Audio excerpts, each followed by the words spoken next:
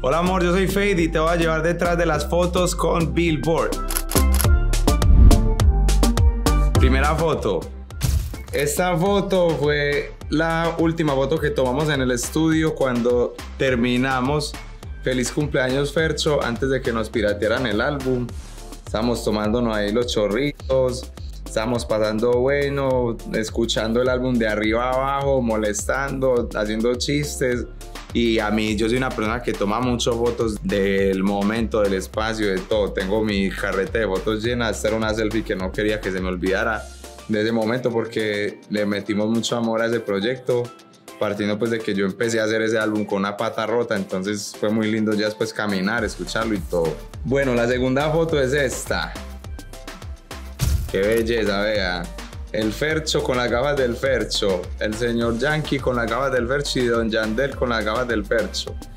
Ese fue un momento, no, pues soñado para mí, porque yo creo que yo he dicho en muchas entrevistas y mucha gente sabe que una de mis influencias y de las personas que han marcado mi vida como reggaetonero ha sido Yankee, que me hacía photoshops y montajes con Yandel cuando estaba en el colegio, como que éramos un dúo, pues por así decirlo.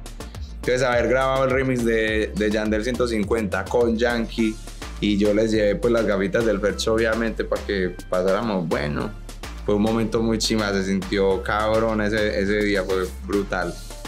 Y este momento, de los momentos más, es, yo creo que ha sido el único día que yo me he quedado sin voz después de ir a un concierto, pues yo ese día di un concierto en Costa Rica, en un festival, y en el mismo festival, en otra tarima, cantaba T-Pain, ahora tiene un set como de DJ y él también es performer, pero pues a mí me encanta la música de T-Pain, me parece exageradamente chimba, la ha influenciado demasiado mucho de lo que soy yo ahora como artista en muchos aspectos y pues tuve la oportunidad de conocerlo y de dejarle saber que era una de mis grandes influencias y que la rompe y que lo admiro y que soy su fan y que lo quiero mucho y grité, salté, me retomé los chorros de ese día, le tiré champaña a la esposa de él sin culpa, pues yo sin querer pero me cogió la buena pues y, y, nos terminamos riendo al final, pero muy chima, yo creo que escogieron tres días muy